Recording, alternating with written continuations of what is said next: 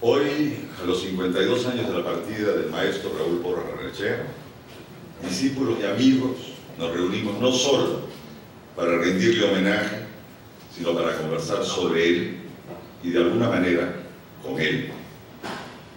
¿Cómo olvidar a ese erudito en diversos campos del saber, internacionalista y diplomático de excepcionales dotes, que a través de la cátedra, su monumental obra y su vida ejemplar, como ha dicho Hugo, dio lecciones de peruanidad y de nacionalismo para reconocernos como peruanos y moldear nuestra identidad nacional dentro del concierto de naciones.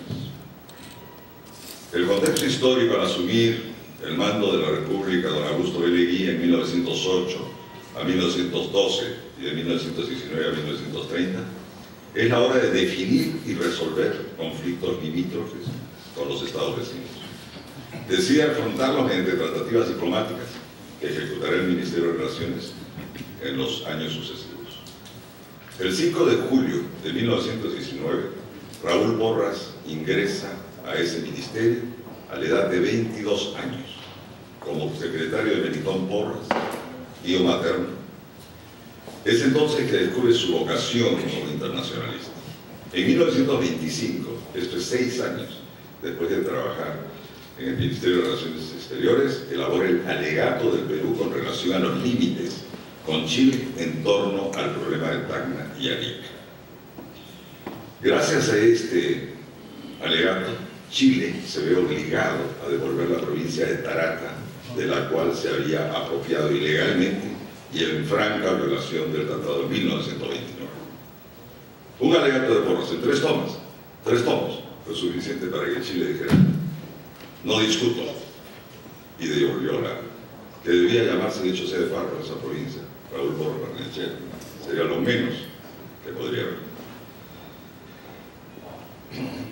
publica la réplica a la exposición chilena sobre la frontera, frontera norte de Tacna. En 1930 publica el Congreso de Panamá, integra la delegación peruana de la Conferencia de Río Janeiro de 1933 sobre la cuestión de Letis, muy importante. Yo con la suscripción del protocolo que lleva el nombre de esa ciudad, que ratificó el Tratado Sermón Lozano entre Colombia y Perú en mayo de 1934, y al cual Porras se opuso tempranamente desde 1928. Porras creía que el Perú no debía firmar ese tratado, porque había sido impuesto por la fuerza, y en consecuencia ese tratado para él era nulo, porque estaba viciado de partido. En 1935 es consejero de la Embajada del Perú en España, de la alegación. En esa época no existían todavía embajadas. Y se queda en España hasta 1933 en que se ve obligado a salir por el estallido de la Guerra Civil Española. Muy preocupado, entre el 36 y el 39, porque los documentos que él había logrado reunir, que eran fundamentales para la historia y para los litigios no territoriales del Perú, podían perderse. Felizmente no se perdieron y los recuperó. Entre el año 36 y 38 se desempeña en Ginebra como delegado ante la desaparecida Liga de Naciones en calidad de ministro atlético en plenipotenciario. El 21 de septiembre de este último año es pasado a la situación de disponibilidad. La situación de disponibilidad en el servicio diplomático es una en que uno no está activo, sino que está, digamos, en reserva, sea por medida disciplinaria o a solicitud de parte. Pero afortunadamente, tiene que suspender, desafortunadamente tiene que suspender sus actividades diplomáticas en París y se traslada a España para continuar sus investigaciones en otros archivos históricos además de Europa. Vuelve al Perú el 41 y al siguiente año es reincorporado a la actividad en el servicio diplomático, como ministro en el servicio diplomático esta vez. Categoría diplomática ya es, que ya ostentaba en 1942 bueno, él está presente en la firma del protocolo del Río de Janeiro, firmado entre Perú y Ecuador en 1942.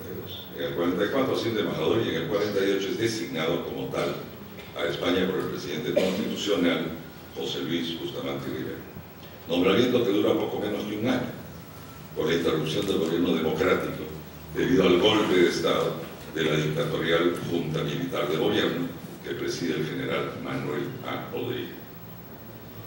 El 56, el doctor Prado Berteche gana las elecciones políticas y para el Congreso ocupa el primer lugar José García Parnechea y en segundo Porras. El primero asume la presidencia del, Congreso y Raúl Porras la vicepresidenta. Pero en febrero de 1957 muere José Gálvez y Porras asume la presidencia. Porras no era prista, había ido llamado por este primo suyo y porque necesitaba en ese momento entrar a la política. Entonces, al no ser aprista, era muy probable que el APRA designara a otro, pues, a otro senador, probablemente aprista. Sin embargo, Manuel Cisneros Sánchez, que era presidente del Consejo de Ministros en esa época, lo ofreció un gran homenaje en el que Porras expresó estas palabras. El liberalismo es humanismo, o sea, la negación de todo fanatismo, la exaltación del espíritu sobre las fuerzas del instinto que conspiran contra la libertad y el derecho. Para mí, el credo liberal no es una posición política, sino intelectual y ética es la vigencia del diálogo y de la discusión, la franquicia para decir y escuchar de lo que depende el porvenir de la democracia y de la cultura. Esta cita pertenece a Enrique Chirino Soto. Bueno, ante la crisis que se produce política que se produce en 1958 durante el gobierno de Prado y tras la corta permanencia de Víctor Andrés, de la UNDE, diplomático también, que había sido ministro de Relaciones Exteriores, invita a Porras a desempeñar el mismo cargo. Y este lo acepta. Por primera vez en la historia peruana, el presidente de la República toma el juramento del cargo en el domicilio del designado, porque Porras convalece de un infarto. Ustedes pueden ver la fotografía que está aquí en la sala de ese hecho, donde está Prado y el Consejo de Ministros en pleno, tomando el juramento a Raúl Porras. En el 58, 1958, Porras asiste a la 13 Asamblea de Naciones Unidas y a la Conferencia Extraordinaria de Cancilleres en Washington, D.C. La delegación del Perú a la ONU la integran Guillermo Llos Osores como asesor de la Cancillería, Enrique Chirino Soto como asesor de prensa y entre otros yo como secretario e intérprete en inglés y español. A mis 22 años de edad, este fue el más grande reto que se me haya presentado hasta esa fecha. Ahora dicta sus cursos para la ONU y yo mecanografía. Sus discursos para la ONU y Washington yo mecanografía. A esa asamblea asisten también el representante soviético Khrushchev y Fidel Castro, tras el triunfo de la revolución el 1 de enero de ese mismo año. En su discurso, Porras denuncia la, la política de los Estados Unidos de fijar cuotas para la importación de plomo y zinc peruanos, lo que Porras califica como una agresión económica para el. También señala los daños que producen para la economía de América Latina, el dumping de precios y los subsidios que ese, país otorga a sus empresas, y demanda la igualdad de tratos sin preferencias discriminatorias que se producían a causa, entre otras cosas, por la Guerra Fría. Los titulares de toda la prensa de América y del mundo reproducen sus palabras. En la conferencia de ministros de Relaciones Exteriores realizada ese mismo año en Washington, Porras se reúne con John Foster Dallas, que era la, a la sazón era ministro de Relaciones Exteriores o secretario de Estado de Estados Unidos. Este se, se expresa pública y elogiosamente sobre el discurso de Porras y dice, nos ha abierto los ojos. No obstante, en la entrevista personal que tiene con Porras, este Porras invoca la amistad y hermandad sudamericana o americana. Y Dales dice, los Estados Unidos no tiene amigos, solo tiene intereses. La revista Time publica una fotografía en la carátula de esa reunión y cita la frase del secretario de Estado. Fui testigo presencial de esto, porque actué como intérprete para Raúl. Menciono como anécdota personal y divertida lo ocurrido en el local de la UNO al que asiste como visitante Luis Felipe Angel, nuestro colega Sofocleto, quien había sido nombrado a la secretario de la delegación peruana en la ONU. Al pasar ante nosotros, por el pasillo, unos pasos donde estábamos de pie, Khrushchev, Sofocleto a gritos, a dice, Dardastra Tavares Khrushchev. Le quiere decir, vive el camarada Khrushchev.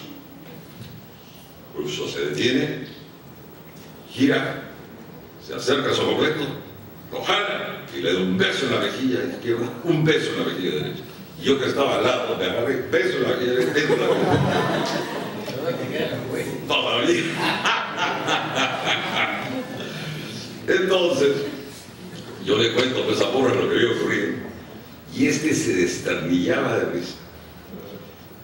Llega a mí y le cuenta a todos los amigos que justo nos había besado porque estoy a mí. Él tenía un sentido del humor muy especial, así que nos divertíamos todos con eso. Fue una desventurada y desconcertante encuentro mío con Cristo. ¿no? Hubiera parecido que fuera un diálogo político, pero digo.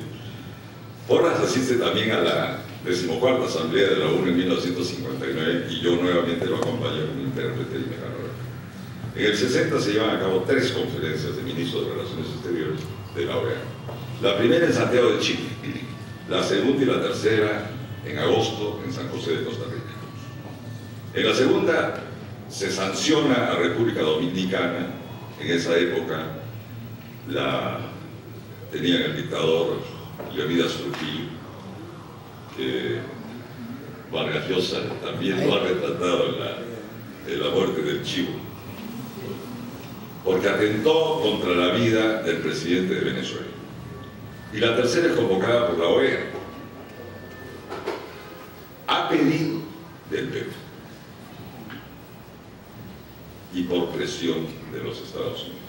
La intención de Estados Unidos era no solo manifiesta, sino ampliamente conocida. Expulsar a Cuba de la Organización Americana. La noche en que Porras embarcara a Costa Rica, Hugo no lo ha dicho.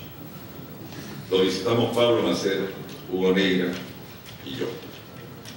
Nos comunica que el presidente Prado ha dado las instrucciones de que vote junto con los Estados Unidos para expulsar a Cuba. Los tres, inflamados de fervor por el éxito de la revolución cubana, criticamos esa postura del gobierno peruano, de Prado, y le manifestamos a él que él, un liberal, demócrata, americanista y defensor de la vigencia y aplicación de los tratados, no podía sostener esa postura. Porras se negó a escucharnos y nos expulsó de su casa. El 23 de agosto, día el que Porras hizo uso de la palabra en la conferencia, en esta séptima conferencia, todos los medios de prensa peruanos, hablados y escritos, ignoraron su discurso. No se dijo nada de la participación de Porras en esa conferencia.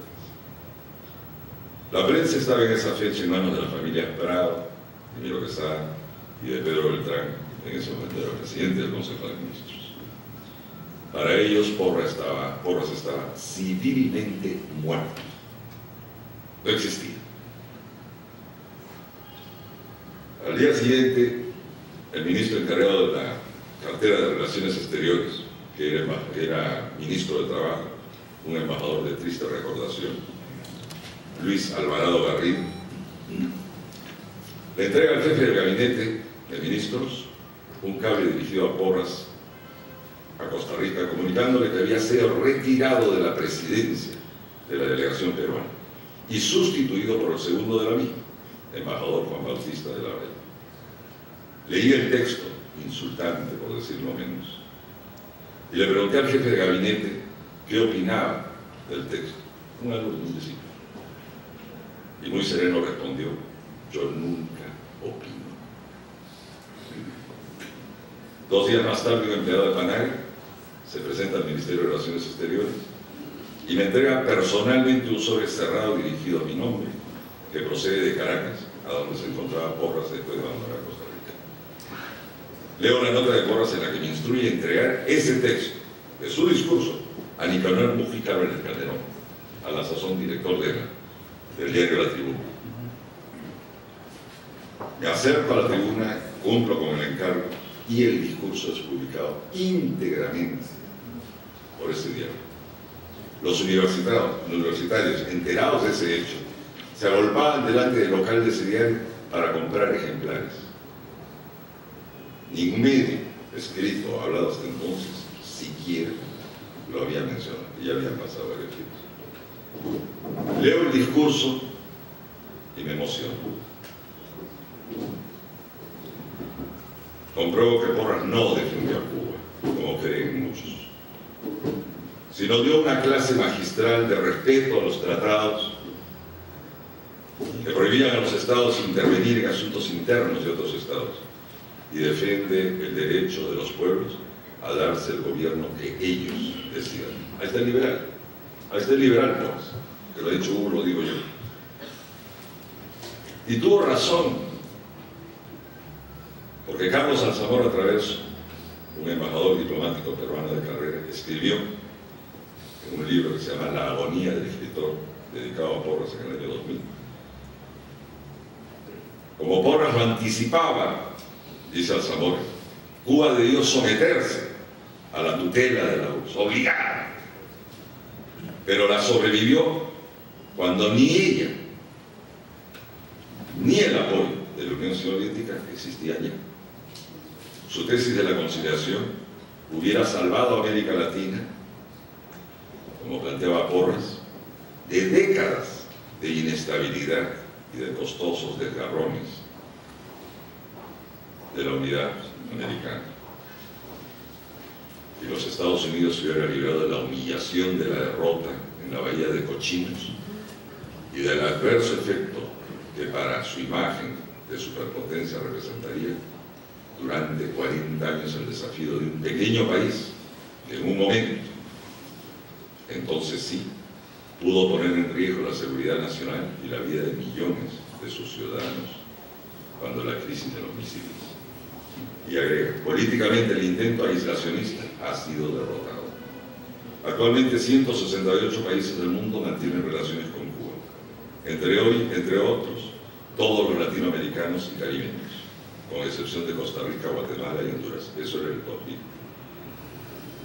En el 2012 todos mantienen relaciones con Cuba, porque han podido entender el mensaje de Porras de la unidad americana, no destruir nuestra unidad. Porras a su retorno a Lima el 12 de septiembre renuncia al cargo de ministro. Prado se niega a aceptar la renuncia. Porras permanece como ministro de Relaciones Exteriores. Realiza un último viaje a la Argentina. A su retorno al antiguo aeropuerto de Corpa, lo voy a recibir. Ya en el automóvil, a Porras le da un infarto de corazón. Del bolsillo de su chaleco extraigo su pastillero y una cápsula roja y se le introduzco debajo la lengua, indicándole al chofer que acelere para llegar a la casa. Llamo por teléfono desde la casa del doctor Osvaldo Arcey, su médico de cabecera, que lo atiende de emergencia. Sobrevive, se repone, pero su debilidad y falta de deseo de vivir eran evidentes. Ese nefasto 27 de septiembre que hoy recordamos, Lucho Granavía, su discípulo, a quien perdimos el 4 de agosto pasado, Porras le dijo, adiós Lucho.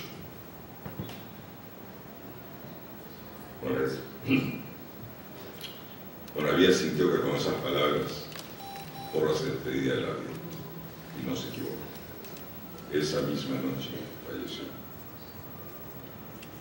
Los seres humanos viven después de muertos hasta que son olvidados. Por no morir.